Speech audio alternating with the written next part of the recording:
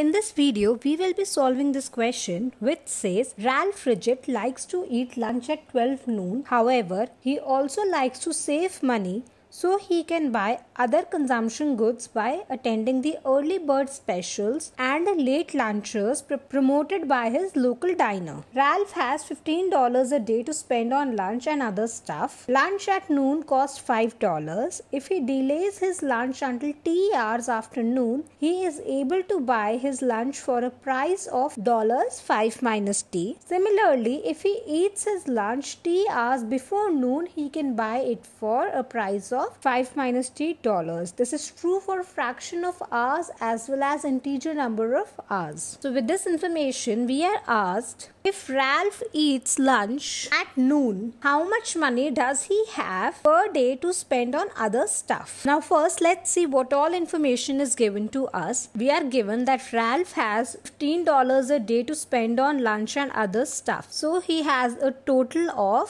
$15. Also, if he eats at noon, that is 12 pm, then the lunch cost him $5. If he delays his lunch until t hours afternoon, that means the time would now be 12 plus t, Then he is able to buy his lunch for a price of this. That would be dollars 5 minus t. And similarly, if he eats his lunch t hours before noon, then your time becomes 12 minus t. He can buy it for a price of this. That would be dollars 5 minus t. Now, if this is the price for lunch, let's calculate the money he has for other stuff given that the total amount he can spend in a day on lunch and other stuff is $15. If he eats at noon, the lunch would cost him $5, leaving him with 15 minus 5 which is equal to $10 for other stuff. If he enjoys the early bird special, that means he eats lunch t hours before the noon, then the lunch would cost him 5 minus t leaving him with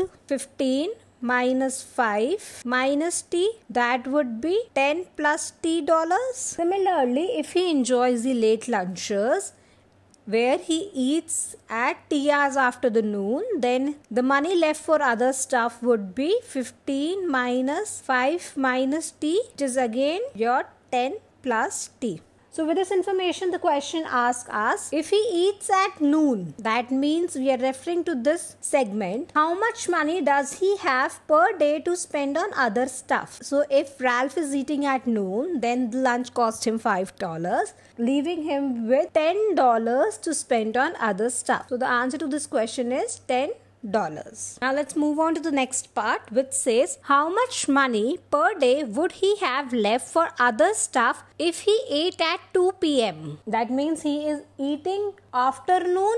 So if he is eating at 2 pm then our t becomes 2 because he is eating 2 hours after tea. So that implies your T is 2. And if that is the case, then his lunch would cost him 5 minus t which is 5 minus 2 which is $3 and the money he has left for other stuff would be 10 plus t as calculated in part A.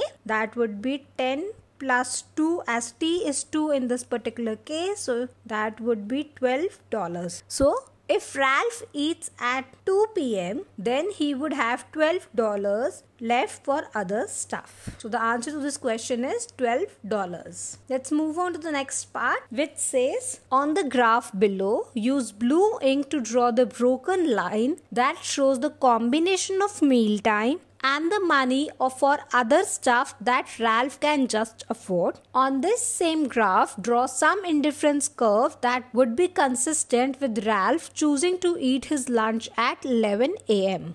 So we have this graph where on the x-axis we have time, that would be your meal time. And on the y-axis we have money left for other stuff denoted by money. Now the question asks us to draw a broken line that shows the combination of mealtime and money for other stuff that Ralph can just afford. Which means the question is asking us to draw the budget line for Ralph. So let's do that. Note that if Ralph is eating at 12 pm, then the money left for other stuff is $10, which we calculated in part A. And if Ralph eats at 2 pm, then the money left for other stuff is $12. So if we join these two points, we would be able to get the portion of our budget line, which would look like this. Similarly, if Ralph eats at 10 a.m., then again your T would be 2 as he is eating 2 hours before the noon. So your T would be 2. His lunch would cost him 5 minus T, which is 5 minus 2 or $3. And the money left for other stuff would be 10 plus T, or 10 plus 2 which is $12. So we get the point as 10 comma 12 which would lie here. Now if we join these two points we would be able to get the remaining portion of the budget line which would look like this. So this kinked line is your budget line as the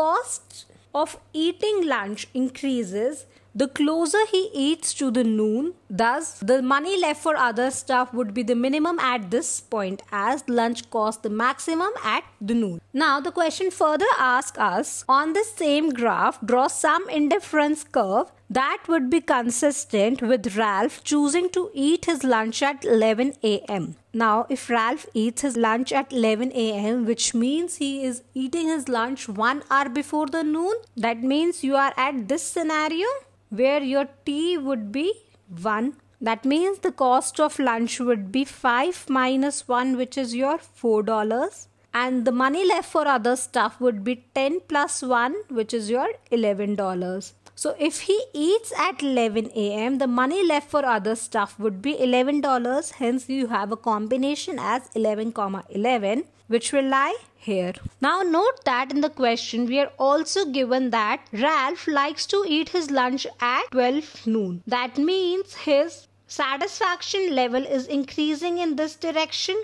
That means he would be enjoying his meal the closer he is to the noon. Also, he likes to save money so he can buy other consumption goods. That means more the money, the better satisfaction Ralph is able to have. Hence, his satisfaction is increasing in this direction. Thus, is the indifference curve passing through the combination of 11, comma 11. Having these as the preference directions would be a U-shaped curve tangent to the point 11, comma 11. Now, what happens after 12 noon? Again, he likes for him more the money the better satisfaction he has. So uh, here again your preference direction would be this. But note that he still likes to eat his lunch at 12 noon. So his preference direction now changes to this. So with these preference directions your graph would roughly look like this which would be a U-shaped curve and also this U-shaped curve would be symmetrical along this red line. So if I